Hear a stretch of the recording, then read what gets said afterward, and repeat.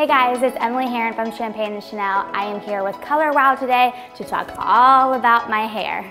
Girls, y'all know when you leave the salon and your hair is looking so perfect, you really want that bright color to last. So I've been searching for the perfect product to use all the time to kind of keep that fabulous salon hair all throughout life. With the really hard water here in Houston, there's a lot of mineral buildup. It'll really dull my hair and it'll really affect the color of my hair.